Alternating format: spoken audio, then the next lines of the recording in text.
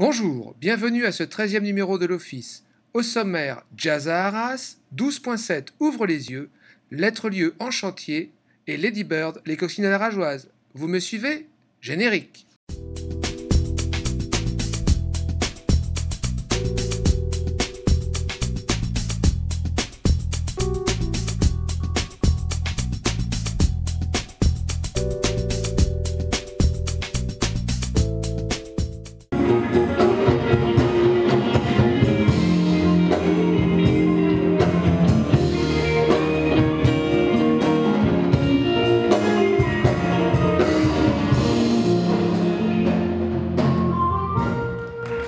l'Hôtel de Guine est devenu la Rage Jazz Festival. Pourquoi? Alors, euh, pour lui donner. Bah déjà, c'est une continuité. Il ne faut pas le voir comme une rupture. C'est vraiment la continuité entre, euh, on va dire, un événement qui était circonscrit avant l'Hôtel de Guine et qui a pour objectif de s'étendre. euh, déjà au niveau de la ville, mais surtout localement, à travers la place du théâtre, avec les commerçants. Et donc, le fait de lui donner un autre nom, ça lui donnait aussi une autre visibilité, ça devenait un vrai repère pour, pour les Arageois. Nous avons filmé quelques groupes. hein. Comment choisissez-vous les groupes qui viennent jouer à la Rage Jazz Festival? Alors on est euh, une association, donc euh, forcément ça passe par euh, beaucoup de concertation et de, on a mis en place un principe d'atelier d'écoute. Euh, ces ateliers d'écoute, chacun vient avec euh, bah, ce qu'il a envie de programmer. Maintenant, il y a un fil conducteur, il y a une direction artistique. euh, et en fonction de cette direction artistique, de ce fil conducteur, on essaie d'être le plus cohérent possible. En tout cas, en donnant là aussi une, une vraie légitimité à ce, ce festival qui va continuer, à, je l'espère, à progresser.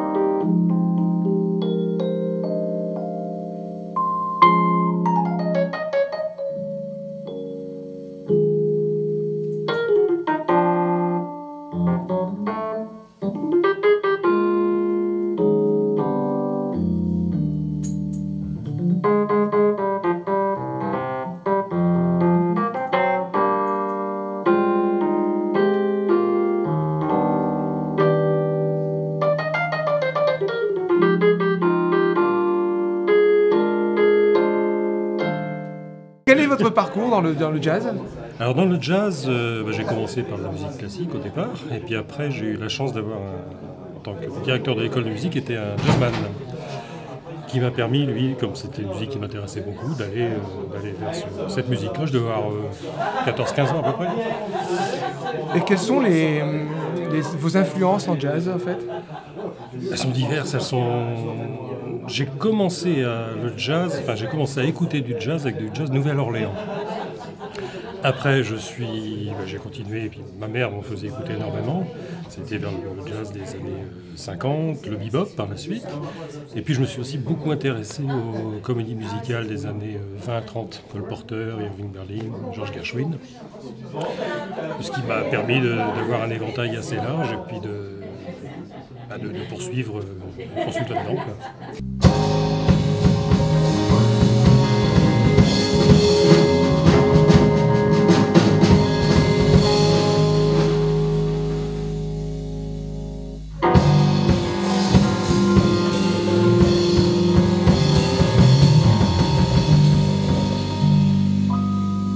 La Rage Jazz Festival, euh, c'est la première fois que vous participez? Oui, tout à fait.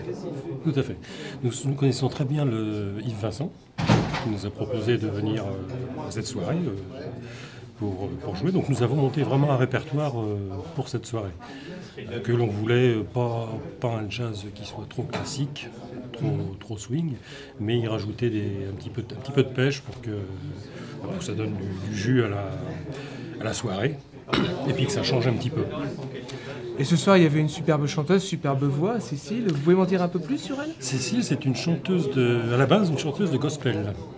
Donc elle chante dans un groupe de gospel et j'avais été la voir euh, pas très longtemps de ça d'ailleurs à Valenciennes et euh, le bassiste Armand la connaît très bien parce qu'il les accompagne euh, à la basse dans leur groupe de gospel. Alors on s'est connus comme ça, elle est venue à une répétition, ça lui a plu, et puis, euh, puis c'est, vraiment quelqu'un qui envoie le jus et qui. euh, elle envoie la musique. quoi. Elle porte la, elle a porté la soirée. Je confirme, je confirme.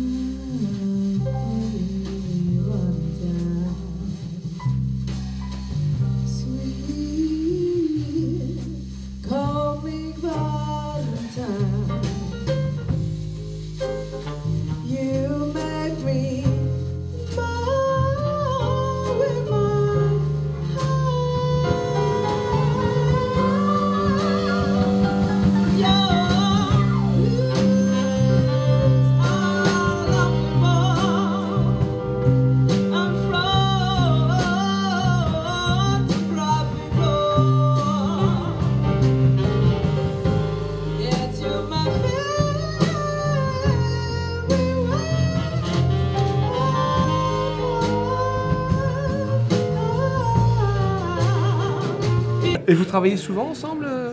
Euh, on a monté ce groupe-là. Je travaille beaucoup avec Samuel le batteur et euh, Armand le bassiste. Nous on se connaît très bien. Donc, la formation à la base c'est ça, c'est le trio. Où on fait venir, ben, en suivant, suivant ce qu'on va faire, ben, ça va être un saxophoniste, un trompettiste, euh, une chanteuse. euh, vraiment en fonction quoi, de, de la soirée. Et vous produisez dans toute la France, dans la région? Non, non, c'est simplement régional. Régional Donc je, je, je me produis aussi dans d'autres groupes. Je joue dans un big band. Euh, Armand joue dans le groupe de gospel, enfin le bassiste. Euh, Samuel joue avec d'autres personnes. Donc euh, on tourne, pas forcément ensemble, mais quand on a le plaisir de se retrouver, ben, ça fonctionne. Oui, On en a eu la preuve ce soir.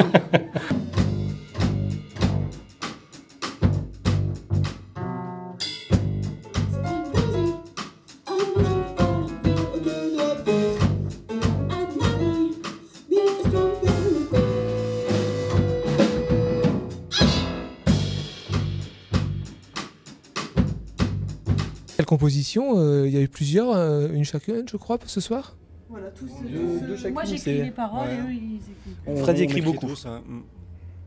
On écrit tous, ouais, c'est ça. Et comment ça se passe, l'écriture d'un morceau, entre les chansons et le morceau en question? Généralement, on ramène la musique, en fait, et puis après, euh, on parle un petit peu de l'ambiance. Après, Karine écrit les paroles, et puis après, bah, on arrange. on- Mais c'est généralement la musique qui arrive en, En premier, en ouais. premier, oui. Ouais, et puis on fait les arrangements tous ensemble. Et après, euh, voilà.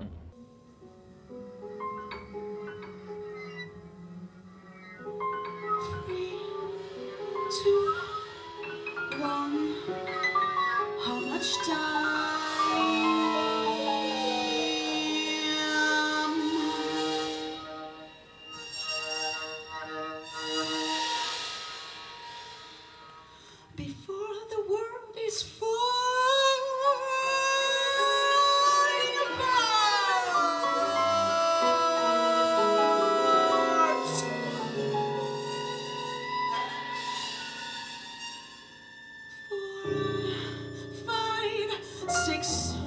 Vos influences au niveau du jazz, qu'est-ce que c'est?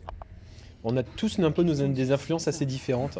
Moi, je suis très influencé par tout ce qui est jazz fusion, avec euh, Hiromi, avec Avishai Cohen. Ça, je pense que c'est une euh, influence qu'on a un peu en commun. VJ ailleurs. Ouais. Euh, moi c'est euh, Julien Louraud, Boyan Z, euh, Ibrahim Malouf. euh. Et au niveau des textes?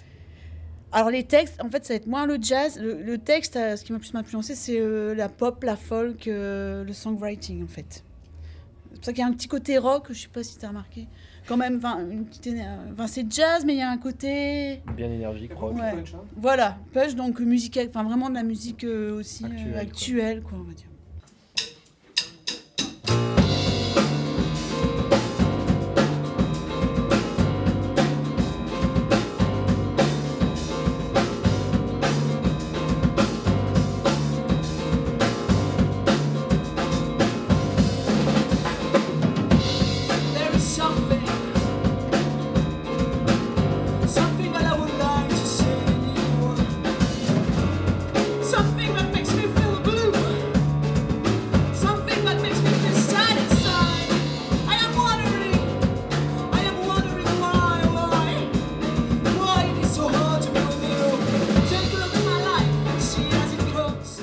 Cette année, il y a eu un, conte pour enfants. Euh, D'où est venue cette idée? L'idée est venue d'abord de hum, comment relier les commerçants euh, du quartier des arts avec cet événement. Et euh, comme, il y a, le comme il y a la librairie au pied de la lettre qui se trouve sur la place du théâtre, je me suis dit que ça pourrait être intéressant d'imaginer un conte musical où bah, justement ça permettrait aux enfants, mais aussi aux parents qui accompagneraient leurs enfants, d'appréhender le jazz d'une manière très différente de ce qu'ils peuvent connaître. Et, euh, et donc l'idée- est venue comme ça. Les carrefours au mort c'est pile ici. Il paraît que c'est l'endroit le plus dangereux du bayou. Mais tu parles. Nous, ça nous fait pas peur. Billy, Nous, on sait bien que c'est les pêcheurs qui essayent de nous faire gober ça. Pour pouvoir pêcher tranquille. Mais nous, on adore faire la course ici. Billy, tu viens? Mais c'est sûr, hein, quand on arrive, ça fait du bruit. hein. On arrive à toute vitesse.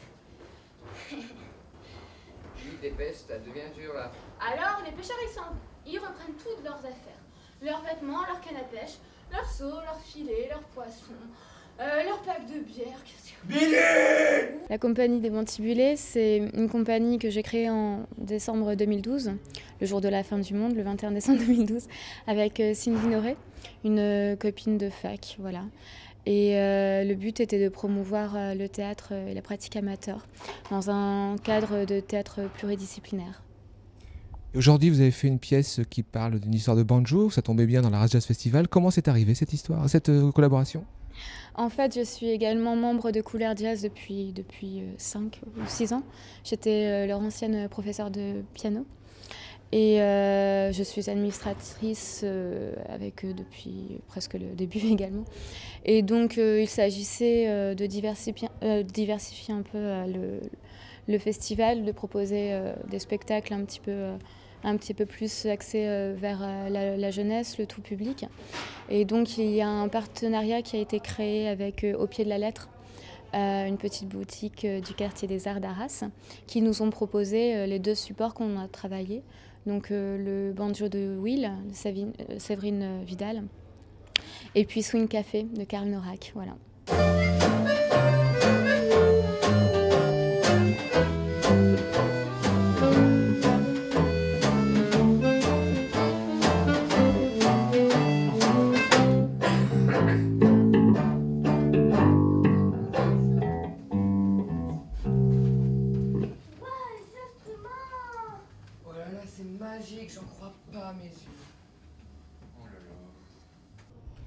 Aujourd'hui, on a filmé euh, le banjo de Will. Euh, Vous pouvez résumer brièvement l'histoire? Euh, tout simplement, ce sont un petit groupe d'enfants qui habitent en Louisiane, dans la région du Bayou, et qui intentent de former un groupe pour ressembler à la bande à Jimmy. Voilà. C'est une fanfare qu'ils adorent plus que tout. Et malencontreusement, lors d'une virée en surf, le banjo se trouve cassé. Et pendant tout le spectacle, les enfants vont essayer de, de, pouvoir se repayer un, un banjo. Et finalement, ils vont trouver mieux, ils vont trouver un moyen de, de gagner de l'argent euh, et de, de penser à réaliser leurs rêves en travaillant euh, grâce au conseil de Mama Soro.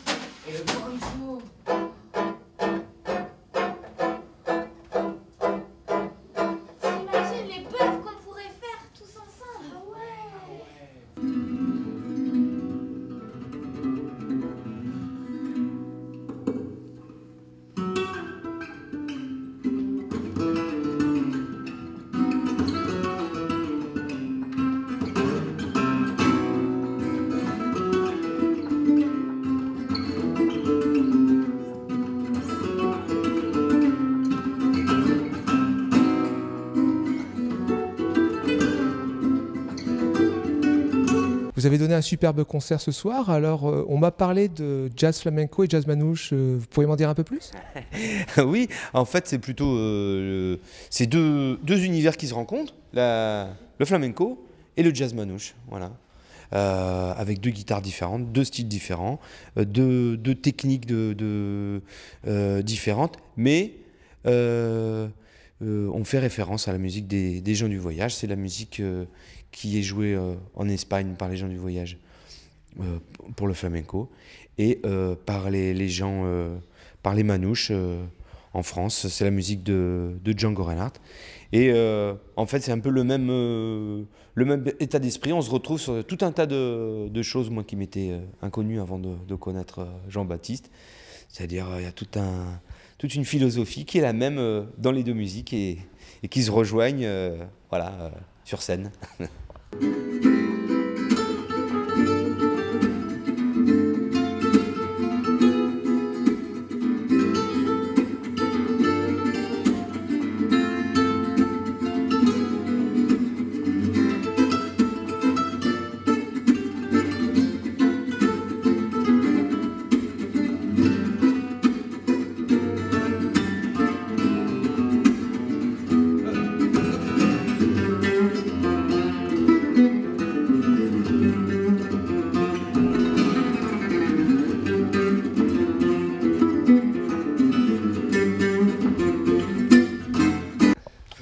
Bah, il a assez bien résumé. hein.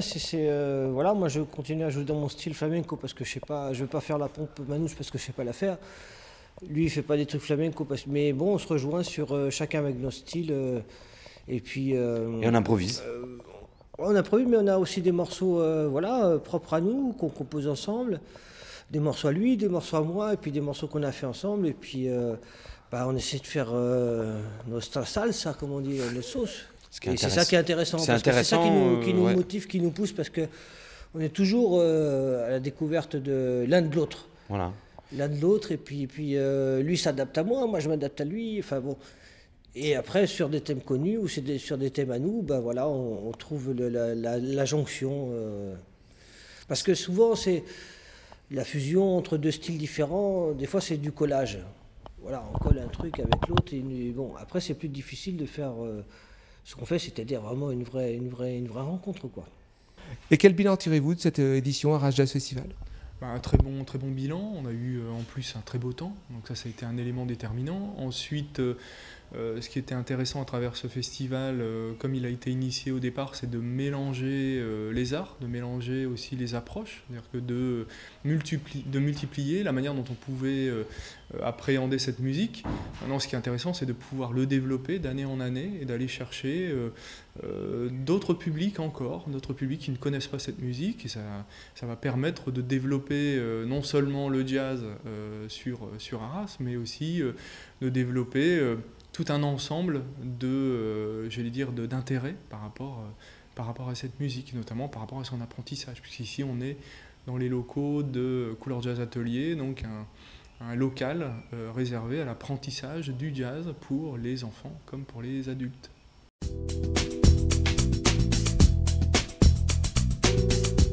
Ah, moi, je m'appelle Olivier. Je suis le chanteur du groupe euh, 12-7 depuis à peu près un an. Je suis Steve, euh, guitariste fondateur du groupe euh, depuis 2005. Moi, c'est Pierrot, c'est le batteur, donc euh, dans le groupe depuis 3 ans et demi maintenant. On va faire un petit historique assez, assez rapide. Euh, bon, tu me rectifieras si je me trompe. Euh, donc 12-7 existe de- déjà depuis une bonne, une bonne dizaine d'années. Donc il y a eu un line-up qui a tourné euh, assez. il y a eu pas mal de, de gens, de changements de line-up. Donc là, le- la chose la plus importante maintenant tout de suite, c'est que là le line-up est stable. La base est vraiment une bonne base solide. Donc, euh, donc on est parti pour durer. On vient de sortir un album que tu peux présenter, donc album studio, batterie studio, chant studio. On en est assez fiers. Donc il y a 11 titres. Donc euh, qu'est-ce qu'on peut dire de plus? Qui a été très bien chroniqué. Voilà, on a eu déjà pas mal de, de chroniques, on en a vendu pas mal. Donc euh, vente qui se fait sur euh, Dailymotion, sur euh, Amazon. Voilà, donc album autoproduit, très important, on en est assez fiers, donc on n'a pas de merci à dire à personne. On vend aussi pas mal de... Si au mastering, ah oui, Ahmed de, de Splice, Et aussi, on vend pas mal de concerts en album.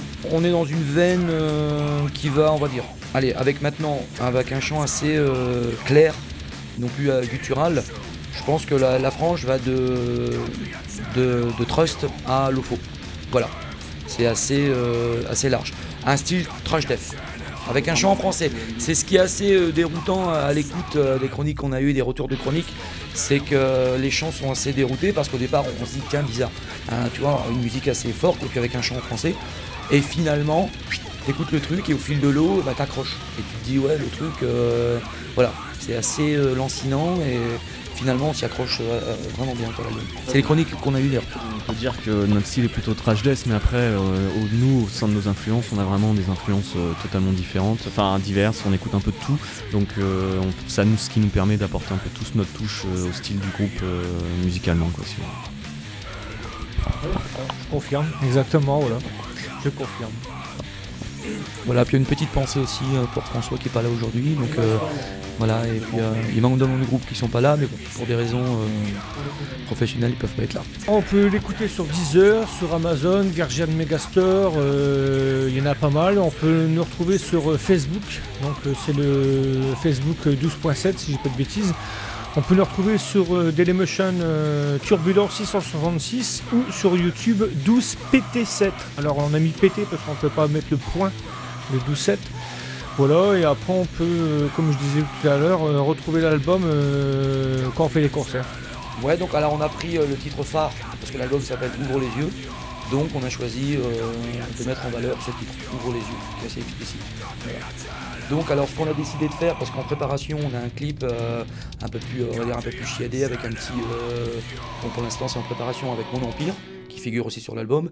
Donc ce sera un truc avec des gladiateurs. Donc on est en train de préparer le script, puis on va essayer de tourner ça aussi en notre production. Donc là, euh, sous euh, la houlette de, de Steve, on a fait un petit truc roots. Voilà, euh, répétition, ambiance répétition.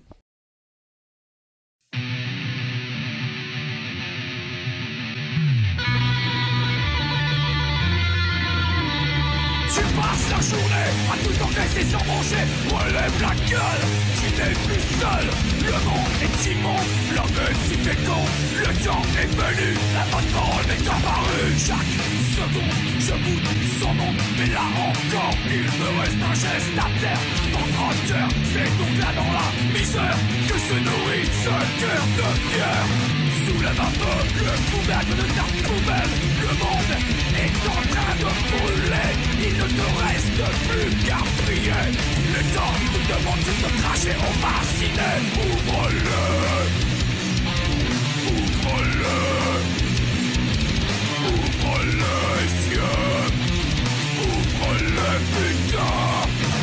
Ouvre les yeux Ouvre les putain Ouvre les yeux Ouvre les putain Déconstruire la raison sans passion j'y tiens On verra plutôt ça demain Réveille-toi, libère-toi, ne reste pas là Décroise les bras et fais ton signe de croix La misère, la guerre sont devenus planétaires Crève et tais-toi, la révolte, pourquoi faire Car l'argent est devenu roi Ah pardon, quand tant de gens meurent à l'unisson Ouvre-le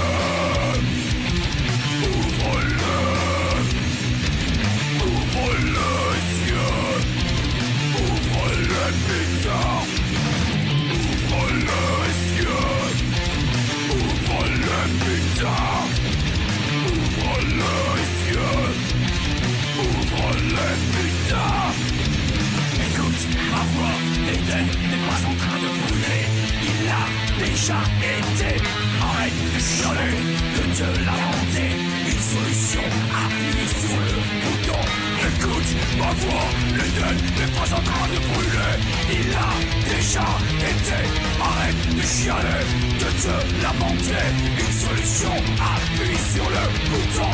Cette histoire est sans fin. Cynique, ironique. L'objet de la pensée unique. Cette histoire est sans fin. Cynique, ironique. L'objet de la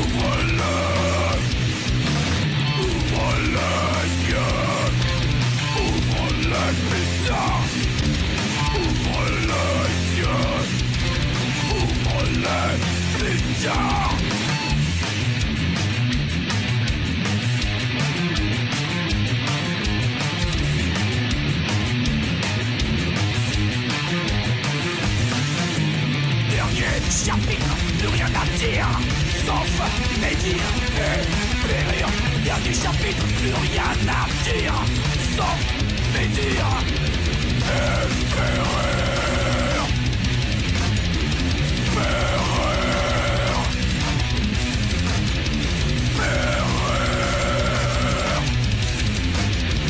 Périr Quelles sont vos dates de concert les prochaines?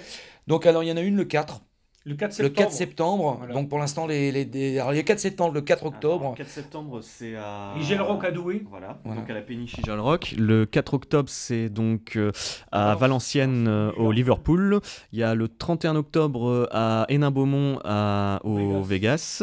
Et après, c'est euh, le 29, euh, 29 novembre Alors le 29, c'est à Osaka au Japon. Donc venez nombreux, très important. Euh, si vous n'avez pas de passeport, on s'en fout. Prenez des billets d'avion, achetez l'album, très important. Voilà. On peut retrouver toutes ces dates sur Sur de Métal ou euh, éventuellement sur Facebook. Voilà.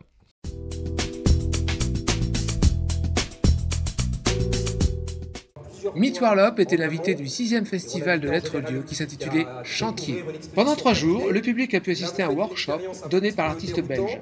Meet Warlop a aussi fait découvrir une performance chorégraphique et artistique avec Springville. En fait, l'idée euh, pour ce festival, c'était justement de, de rendre accessible euh, tout processus de création de notre artiste invité ici en atelier, en résidence, une- un workshop, un atelier.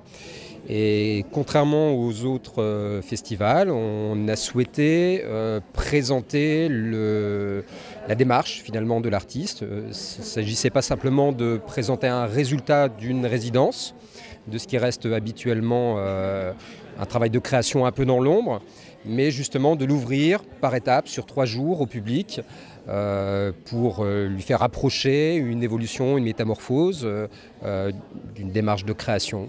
Euh, C'était euh, bah, le pari qu'on a fait dès le départ. On, C'était un petit peu trafiquer l'inconnu, même si on connaissait évidemment un peu l'univers de, de Midvarlop. Euh, C'était l'idée de trafiquer l'inconnu dans le sens où on ne pouvait pas déterminer à l'avance ce qui allait être construit jour après jour. Et c'est cette incertitude, cet inconnu qui nous intéressait et qu'on voulait partager au public. Que parfois il y a un décalage, c'est-à-dire entre la réception par un spectateur euh, du- d'une œuvre euh, contemporaine et puis les, moyens ou les questionnements qu'elle a, en son cœur, je dirais, et ce qu'il a vu naître. Et effectivement, euh, les étudiants sont passés par de nombreuses étapes. Et, sur le workshop sur trois jours, il y a eu des vrais moments de, réflexion sur, euh, en groupe, euh, de- d'action aussi corporelle pour des étudiants qui passent la majorité du temps scolaire assis euh, sur une chaise à écrire, à, faire des dissertations, etc. Là, à un moment, Maria Carmela parlait de prise de risque. C'est un moment se- faire un pas de côté, c'est-à-dire euh, être dans une posture, dans une situation inhabituelle pour eux. Et certains se sont sentis euh, quelque peu fragiles aussi dans cette expérience-là. Et donc euh, ce résultat ce soir, en tout cas, c'est vraiment tout un processus. C'est ça qu'on a voulu montrer. Si pour le premier soir, pour l'inauguration, on était dans une, dans une situation d'immobilité, avec le silence que ce- cette immobilité a, suscité chez le spectateur, à vrai dire, dans la journée, il y a eu beaucoup de mouvements. Et cette expérience-là est, à la fois riche euh, et en même temps difficile. Ce que je veux dire par là, c'est que les étudiants qui sont allés jusqu'au bout de cette expérience euh, euh, ont- l'ont mérité. L'ont mérité. C'est-à-dire que faire un workshop, ça n'est pas faire un cours euh, d'histoire de l'art ou faire un cours théorique. Ça n'est pas simplement faire sa propre pratique dans son coin, pratique individuelle. C'est faire une création de l'ordre de la rencontre avec une artiste et entre eux. Donc ça, c'est vraiment hors du commun. Et donc ça se mérite. C'est un petit peu difficile. Et voilà, c'est important. C'est important pour eux et je crois qu'ils sont allés jusqu'au bout de cette démarche avec euh, Midvarlop.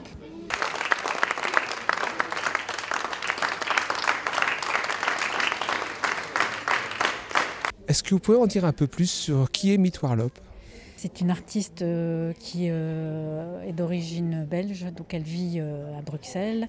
Elle est diplômée des beaux-arts de, Gand. Et donc à la suite de son diplôme des beaux-arts, elle a voulu développer un travail performatif.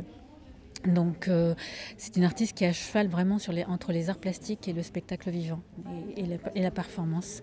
Alors elle a un univers très euh, drôle d'abord, parce que euh, elle est très hum, sensible ou très influencée. Je n'aime pas ce mot parce qu'elle c'est pas une influence. Elle, c'est pas elle copie pas, c'est une influence vraiment de, de, ligne, on va dire artistique, qui est euh, celle euh, qu'on connaît chez les, surréalistes belges, par exemple. Il y a une dimension aussi euh, totalement. je pense à, enfin, quand je vois son travail, je pense à Matisse, je pense à, des, artistes qui ont inventé des- des concepts, ont inventé des objets qui ont l'air complètement euh, sans queue ni tête, et finalement, ils disent quelque chose. Euh, et dans Springville, qu'on va pouvoir voir ici le 5 euh, juin, cet univers-là, il existe totalement. C'est-à-dire qu'on va avoir des personnages qui vont arriver avec, par exemple, une table qui bouge avec des pieds, une table à pieds vivants par exemple, euh, euh, ou euh, un homme au corps de carton. Enfin, après, il y a plein plein de personnages comme ça complètement surréalistes qui arrivent sur le plateau et qui fabriquent quelque chose. C'est-à-dire que c'est pas sans sens. hein. Tout ça est bien très pensé et très construit pour et, pour nous emmener dans un univers complètement euh, euh, fantasmagorique euh, et, euh, empreint de, personnages. Il y a aussi quelque chose de Bosch aussi. hein. Quand je, pense aux Belges, c'est aussi beaucoup belge flamand. Et, c'est vrai que chez les personnages qu'elle crée, enfin, il y a des choses de, Jérôme Bosch. Donc ça va de Jérôme Bosch à tout le surréalisme du milieu du 19e siècle belge. Et, oui, elle est riche de ça, enfin, de cette culture-là. Et c'est très intéressant, évidemment.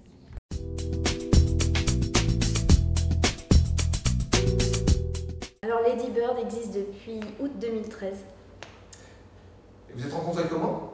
Alors on s'est rencontrés, euh, on faisait partie d'un groupe de reprise pop rock.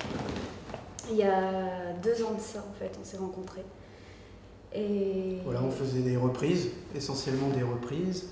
Euh, bon, c'était bien, mais on a voulu passer à autre chose, donc à passer à des compositions. On a, vra- vra- on a vraiment euh, voulu euh, composer euh, nos propres morceaux, nos propres idées, parce que sur scène, enfin, on aime beaucoup lorsque le public apprécie nos, nos idées, apprécie nos compositions, euh, plutôt que voilà, des morceaux dé- déjà existants, même si c'est vrai que c'est quand même sympa de faire des reprises de temps en temps. C'est formateur. Voilà, c'est formateur, mais c'est vrai que c'est Ouais, encore mieux de pouvoir s'exprimer euh, avec ses propres morceaux. Évidemment, ça c'est le top. Alors, l'univers musical du groupe, qu'est-ce que c'est? Je pense qu'on pourrait dire pop rock acoustique. Ouais, c'est vrai. D'accord C'est vrai. Et quelles sont vos influences? Moi j'ai beaucoup d'influences. euh, À la base, j'ai des guitares héros, donc ça n'a rien à voir. euh, Satriani, Steve Vai. euh, Et en ce moment, je suis plus à écouter John Butler Trio. Ça- moi j'ai des influences euh, bien différentes. Moi c'est plus euh, variété euh, variété anglaise, aussi variété française à la base. Donc c'est vrai qu'on a des univers bien, bien Oui, différents. on a, on a tous des influences différentes, ce qui au final donne quelque, quelque chose de différent, un peu de mixé, voilà, un, un ensemble de- d'influences. Mm. C'est ça qui est assez intéressant. Mais bon, on a à peu près quand même les mêmes goûts euh, musicaux, heureusement. Ouais. Bah oui, c'est- J'ai- On se recoupe quand même sur certains. Heureusement. C'est ça qui est marrant. Yann On va parler Oui. Moi, c'est plutôt euh, Imagine Dragons et j'écoute aussi du rock, mais en japonais. C'est c'est la même chose, sauf qu'ils chantent euh, en japonais. C'est assez vif, Voilà. c'est très vivant, très dynamique.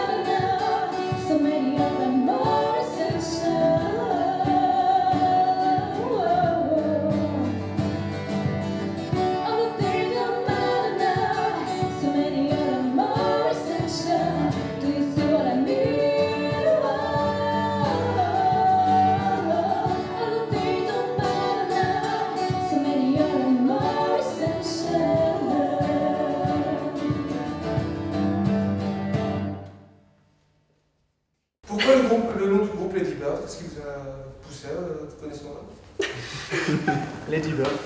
Alors, euh, ça veut dire coccinelle déjà, hein, Lady Bird. Euh, ça n'a rien à voir avec un oiseau ou, ou quoi que ce soit. En fait, on a choisi ce nom-là pour sa sonorité. En fait, euh, voilà, c'est pour le son du, du mot qu'on trouve assez rond, assez féminin, mais à la fois masculin. Il y a un, un petit mélange. C'est assez sympathique comme nom. filles. Voilà, on a, on a pas mal hésité sur le. Je me souviens plus quel nom avait ACDC, mais c'était déjà pris. Et Metallica, tout ça, donc euh, bon, c'était pas. On n'a Ouais, pas de ouais. chance là-dessus, mais non, Lady Bird. euh, C'était trop que- classique. euh. Ouais, je, ouais, je sais pas si ça marcherait. Non, Lady Bird, c'est voilà, cette idée de, de féminin et masculin. Il y a Lady, Ah, c'est facile à dire aussi. Hein. Voilà, c'est facile à retenir. Euh, voilà, puis pas forcément un pluriel, un ensemble, quoi, Lady Bird. Pourquoi chanter en anglais justement?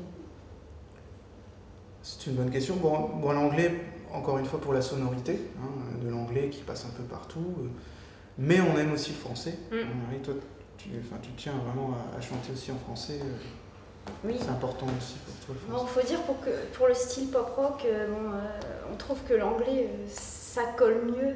Ouais, ça passe tout de suite mieux. Le français, c'est plus un défi et on va en faire plus parce que Mm. c'est plus difficile. euh, pour ce style-là, euh, de faire du français. Ouais, c'est vrai. Mais on compte en faire euh, beaucoup plus. Ouais, puis les gens, les gens demandent aussi du français, ils nous disent bon, allez, une petite chanson en français. Mm. Ça leur parle plus, peut-être les gens un peu plus âgés aussi, Mm. mais euh, on voit en général quand on fait des concerts, et les chansons en français euh, passent bien quand même. Ouais. Même si l'anglais est apprécié, euh, Ouais. C'est quand même sympa. Et vous avez un EP, vous pouvez m'en parler?